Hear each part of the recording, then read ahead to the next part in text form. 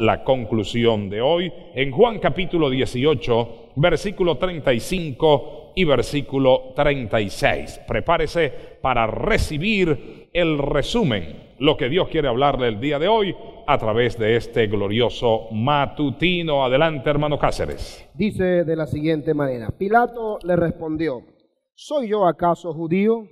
Tu nación y los principales sacerdotes te han entregado a mí. ¿Qué has hecho? Respondiendo Jesús, mi reino no es de este mundo. Si mi reino fuera de este mundo, mis servidores pelearían para que yo no fuera entregado a los judíos. Pero mi reino no es de aquí. Padre, gracias, tu palabra fue leída. Muchísimas gracias, pedimos el buen discernimiento. Cuando vamos a la conclusión, declaramos tu palabra corriendo y glorificándose de una manera extraordinaria, usando a tu siervo, nuestro amado director Jaime Van Puerta, en el nombre de Jesús. Amén y amén. Toda la gloria sea para el Señor.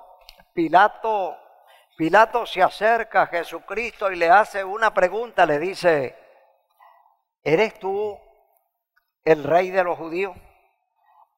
Aquí entre nosotros dos, dime, ¿eres tú el rey de los judíos? Jesucristo, como buen judío, los judíos siempre responden las preguntas con otra pregunta. A los judíos les encanta preguntar. Cuando Pilato le pregunta, ¿eres tú el rey de los judíos? Jesucristo le responde con otra pregunta. Le dice, ¿eso lo dices por ti mismo o es que alguien te lo dijo a ti? ¿Cómo sabes tú que yo soy el rey de los judíos? Está dando por sentado que sí es el rey de los judíos. Para eso vino a este mundo, para reinar. Y Él es rey eternamente y para siempre. Él es rey de reyes y señor de señores. Cuando Jesucristo le responde a Pilato con otra pregunta, ¿eso lo dices por ti mismo? ¿O fue que alguien te dijo que yo soy el rey de los judíos? Pilato se sorprendió. Pilato no esperaba esa respuesta. Él esperaba que Jesucristo le dijera o sí o no. Pero Jesucristo solamente le hizo una pregunta. ¿Lo estás diciendo por tu propia cuenta? ¿O fue que alguien te dijo que yo soy el rey de los judíos? Versículo 35, diga conmigo, Pilato le respondió. Pilato le respondió. ¿Cómo le respondió Pilato cuando Jesucristo le dijo, eso lo dice por ti mismo, es que ya tú entiendes que soy el rey de los judíos? ¿O fue que alguien te lo dijo? ¿Qué dijo Pilato cuando Jesús le soltó ese bombazo? ¿Soy, yo acaso judío? Tu nación y los principales sacerdotes te han entregado a mí. ¿Qué has hecho? ¿Qué has hecho? Yo no soy judío. Yo, yo no sé si eres o no eres el rey de los judíos. Pero tu nación y los sacerdotes te entregaron en mis manos.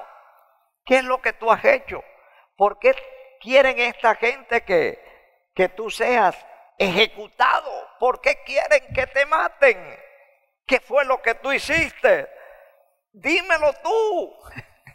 Hermano, no había ninguna causa jurídica para que nuestro Señor Jesucristo fuese condenado. Y quiero decirles algo.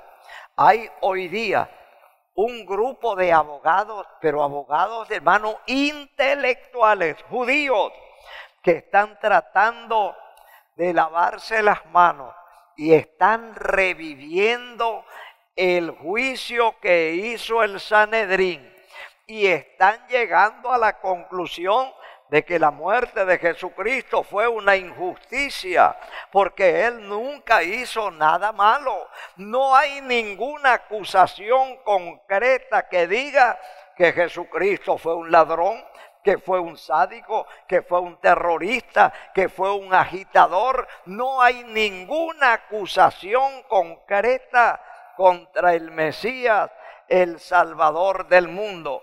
Pilato le dice, ¿acaso yo soy judío? Yo de ese asunto no sé nada. Pero definitivamente, ¿qué es lo que tú has hecho para que esta gente con tanta rabia venga y te entreguen en mis manos para que yo te condene a muerte? ¿Qué es lo que tú has hecho? Jesucristo le responde en el versículo 36. Diga conmigo, mi reino, Mi reino no es de este mundo. no, es de este mundo. Mi reino Mi reino, no es de aquí de abajo. No es de aquí de abajo. Mi reino, mi reino es un reino espiritual. es un reino. Es un reino celestial. Si mi reino fuera de este mundo, mis servidores mm, mm, pelearían por mí y me defenderían. Pero mi reino no es de este mundo. ¿No te han contado? que Pedro desenvainó la espada y quería defenderme y le cortó la oreja al monaguillo, al ayudante del sumo sacerdote. ¿No te han contado eso?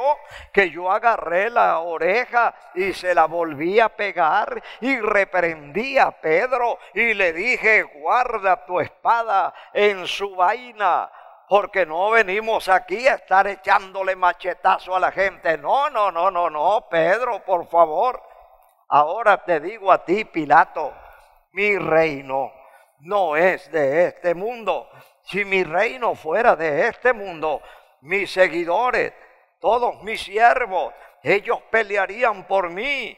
Yo, con un solo llamado que le hiciera, vendrían todos a defenderme. Pero entiende esto, Pilato, mi reino no es de este mundo. Y eso debemos entenderlo nosotros los siervos del Señor.